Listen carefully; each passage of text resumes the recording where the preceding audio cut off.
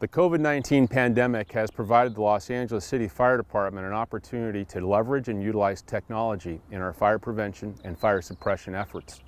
This is especially true for our brush clearance program. I'm proud to announce that for the first time, we're integrating the unmanned aerial system, or drones, to support the program as part of our annual residential brush inspections.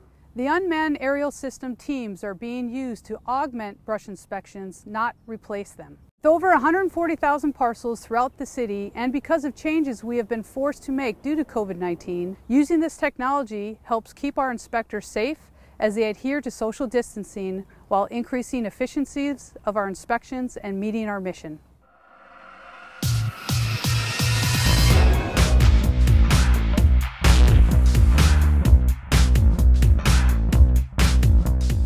This year's brush clearance season, the Los Angeles City Fire Department has a new tool in its inventory.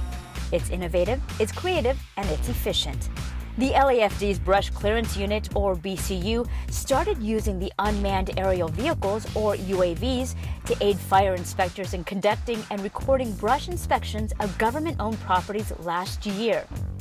Earlier this month, the Board of Fire Commissioners approved the use of UAVs for brush inspections in residential areas in the very high fire hazard severity zone. This is really about defensible space.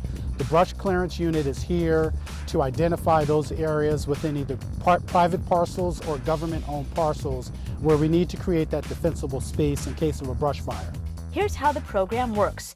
The UAV pilot will go to a residential area and fly a predetermined flight path, taking every precaution necessary to avoid privacy violations. First and foremost, the LA Fire Department's UAS program was designed around addressing privacy and certainly public confidence. How we address it is dealing with um, uh, the flight planning piece of it. So we identify the specific area that we're going to, we pre-flight and mitigate that risk, and then we communicate through either the brush clearance unit or the public information officer as far as how we're doing that and we're transparent with the public so that they can see what our operations are. That the uh, inspectors would utilize this tool uh, to uh, help access or view the parcels that are in terrain that are hard to access, whether they be landlocked or whether the parcels would be behind walls or canyons or, or places that are have access difficulties.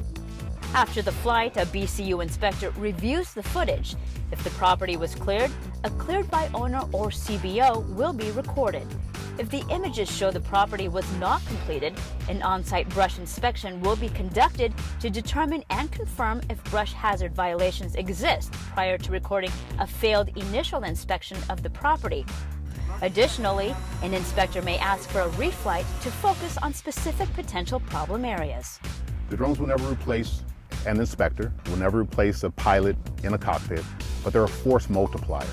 They add to the efficiency, the effectiveness, and the safety of any operation that we engage in.